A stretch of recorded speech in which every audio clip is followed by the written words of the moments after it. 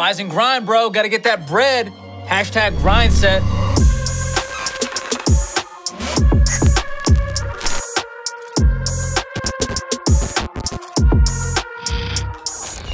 That's right, you boss babes. Today we're talking about side hustles. Now, to be clear, I'm not big on hustle culture, but I do love a good side hustle. I mean, who doesn't love extra money? Maybe you want to save up for a down payment on a house, maybe you want to get out of debt, or maybe you just want to prove your parents wrong and be the first person in your family to graduate from clown college. You people have stood in my way long enough. I'm going to clown college. Whatever your financial goal is, a side hustle is a great way to bring your income up so you can reach that goal faster. And I don't know about you, but when I'm working a side hustle, it makes me feel good. I'm learning new skills, I feel proud of myself, and I feel productive, which is the opposite way I feel when I'm doom scrolling TikTok. Plus, I know I'm making progress when I'm doing these side hustles. So in this video, I'm gonna share the side hustles I personally did that helped me raise my income so I could get out of debt, save up a down payment, and start building wealth faster. And I'll tell you how much money I made with each one and give you a simple method to help you choose a side hustle that's right for you. But before we talk about side hustles, why don't you hustle on over to the side there and click the like and subscribe button?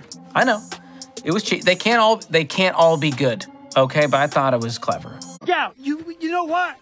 You thought wrong. And, and share this with a friend who also enjoys cheesy, not great jokes. Maybe they'll like and subscribe too. Okay, there's obviously all kinds of things you can do to earn a little extra Skrilla. Babysitting, dog walking, house cleaning, or snake milking. That's a real one. Look it up. No. No, I don't think I will. First, they came for the almonds, and I did not speak. Now we're making milk from snakes? What's going on here? I'm being told it's not actual milk. It's people who extract the venom to save other people's lives. You're American heroes, and we salute you. No one wants to waste time on something that's not going to pay off, so it's got to make money. Or doing something that makes you miserable, like taste testing dog food. Another sadly real side hustle you could do. That's disgusting. Even if you have some ideas, it can be a little intimidating to try something new or start a small business or charge people money for something that you made. But remember, your most powerful wealth building tool is your income. So when you find a side hustle that will boost your income without leaving you feeling drained and miserable, it's a game changer. And I'm living proof. Let's flash back to 2013. It was a different time. I was broke and miserable with $40,000 in student loan debt and credit card debt. And then I took a little course called Financial Peace University, and it got me fired up to pay off that $40,000 in consumer debt. And I wanted to do it fast. I didn't want to wait five or 10 years. I wanted to do this in two years or less. So I thought, okay, I've got to get my income up. And I had my salary from my day job, but I thought, what else could I be doing? How can I make even more money to throw at this debt? So I put on my big boy britches and I picked up some side hustles. I mean, what else was I going to do? Sit at home and play video games, go to bars, dress up like a level six mage, and go LARPing down at the park? No, I knew what I wanted to be in control of my money, and I knew what I had to do to get it faster. So I rolled up the sleeves on my disposable H&M cardigan, and I got to work. So here's the five side hustles I did with how much I made doing each one, ranked from lowest earning to highest earning. Remember, these aren't right for everyone, but they may help spark an idea of what you could do to make some more of that sweet legal tender. Monday, Monday, Monday. Number one, driving for Lyft and Uber. Now, back when I was doing this, Lyft and Uber were new to the Nashville area, and they were trying to recruit drivers and gain market share. So in 2014, I made a thousand bucks plus some money driving for Lyft, and in 2015, I made a thousand bucks from Uber sign-on bonus. So in 2015 alone, I made $1,529. Now, in 2016, things went downhill on the Uber and Lyft front. I made a whopping $138. Apparently, my interest in giving people awkward rides to the airport waned a bit, over time. But generally, if you're driving for Uber and Lyft, you can make 15 to 30 plus dollars per hour before any expenses. And what did I do with all that money? I rolled all of that right into my debt snowball, attacking my smallest debt with a vengeance with all the extra money I was making. Second side hustle, music and this involves music licensing and live gigs. I love playing guitar and singing, and I was decent at it, according to my mom, so I figured why not find a way to monetize it? So I recorded an album, put out some CDs, put some music online, and I got paid royalties for that music when people bought it on iTunes or now streamed it on Spotify, and even ended up booking some live gigs. My groupies called me George Bon Jovi. By groupies, I mean Nobody. Nobody told me that. You're fine when you're not really fine, but you just can't get into it because they would never understand. I also did some live gigs and performed and got paid some for that. But the biggest way I made money from music was through licensing. This is where I uploaded my music to a website, and videographers, filmographers, even companies could use that music in their videos, and I could get paid handsomely for that. So in 2015, the same year as my ride sharing hustle, I made $815 in royalties. In 2016, I made a little more, $1,430. Not too shabby. But then in 2017, Ford Motor Company wanted to use my music in some videos on their YouTube channel. So that year, I made $3,082 from music royalties. Truck yeah. That wasn't the name of my song, that's someone else's song, and I'm sure they made a whole lot more than $3,000 from that. Now, obviously, the music thing isn't right for everyone, but the point is ask yourself this what's your version of that? What's a passion that you have that could turn into some extra money? Side hustle number three building websites on Squarespace. Basically, I knew how to build a decent looking website on Squarespace because I had built my own. So I found some people who needed a decent looking website. And as I got more experience, I was able to charge more. So in 2020, I charged $1,500 per website and I made $3,000 total from this side hustle that year. I mean, what else was I gonna do in 2020? Bake banana bread and puzzle? I got some banana bread at work today, dude. Hell yeah. You may not know the first thing about building websites. Maybe you have another specific skill that someone out there needs. If so, that's great. Find a way to get connected to people who need that skill and take their money. Not like steal it, but you know, offer your services in exchange for it. That's the right way to do it.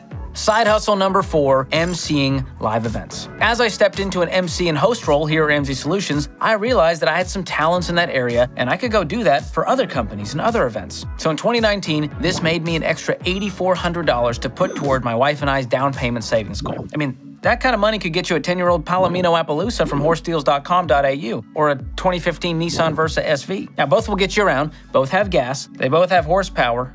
You know what I'm saying? I have a history with horses. It's a touchy subject. I'll link below if you want more context.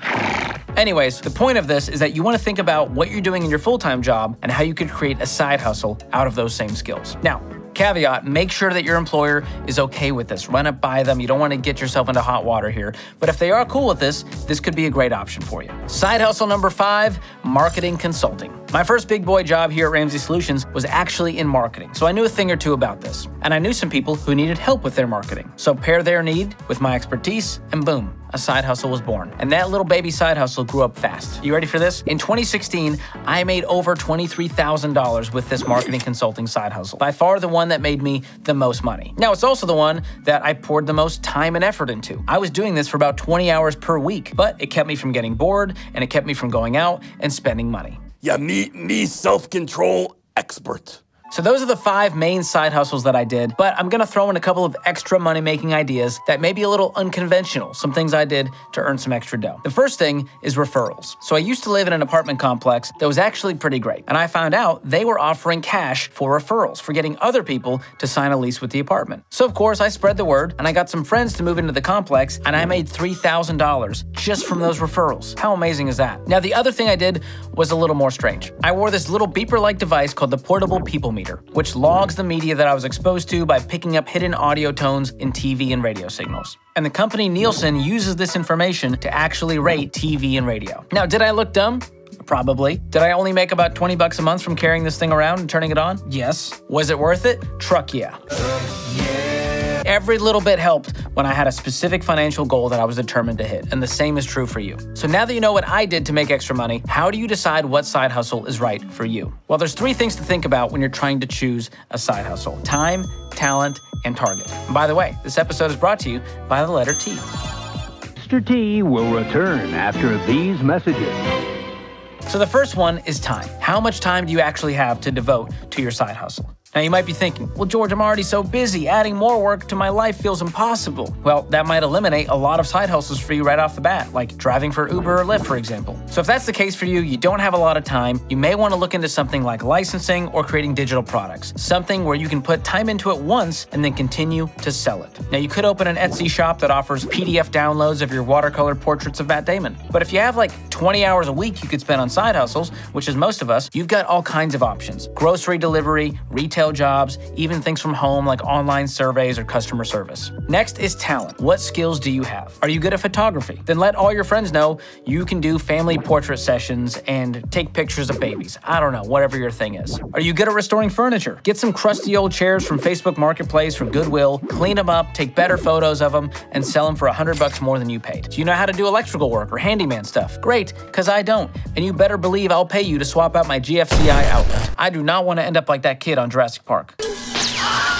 And this doesn't have to be some rare gift that only you possess. This could be something that anyone can do mowing lawns, house cleaning, babysitting, dog walking, all important jobs that people will be happy to pay you for. Now, the last one is target. What is the goal you're trying to achieve? If you're just doing this because you're bored, that's fine. Maybe you'll make some good money, maybe you won't. But if you're doing it because you want to get out of debt or because you have a specific thing you really want, like a house or a car, guess what? You're going to stick to it, you're going to work at it harder, and you're going to hustle for those tips, which means you're going to make some good money. So if you're ready to get your income up with a side hustle, use those three T's time, talent, and target to help you figure out the best way for you to earn some extra cash. And one important thing as you start to earn some extra income, do not forget to set aside money for taxes. As a general rule, I set aside 25% of any side hustle earnings for taxes, so I'm not surprised by Uncle Sam on April 18th. Pro tip if you expect to owe at least a thousand in taxes, make sure you're submitting quarterly estimated tax payments to the IRS. You don't want those guys on your back.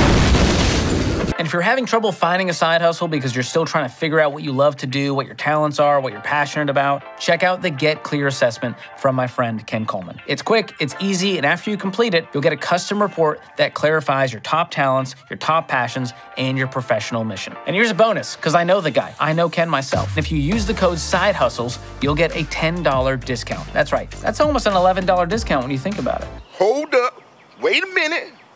Something ain't right. But here's the deal the code expires in like a month or something, so grab it while you can. It's a limited time only. I'll drop a link below if you want to check that out. And if you just want some ideas of the side hustle possibilities out there, I will link some great articles below that have way more ideas than I've listed in this video. As always, make sure to like and subscribe and share this video with someone you know who needs to maybe find a better side hustle idea like Becky. I don't need any more Tupperware, Becky, and I'm not interested in your shakes. My physique is peak physical condition. I'm doing okay. Sorry, Becky.